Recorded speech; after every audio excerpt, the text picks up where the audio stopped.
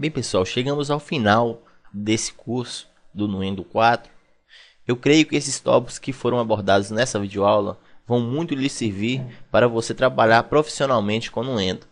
Após a parte de mixagem, se você quiser fazer um trabalho profissional com uma gravação de um CD, é ideal que você passe para outro processo que chama de se masterização. A masterização é processo de finalização após a mixagem, ok? Algumas pessoas usam até o próprio Nuendo para masterizar, mas eu não recomendo você fazer isso. Eu recomendo você estar tá usando um software específico para masterização, como o SoundForge, como o T-Rex 3, que é um excelente programa, e outros demais aí.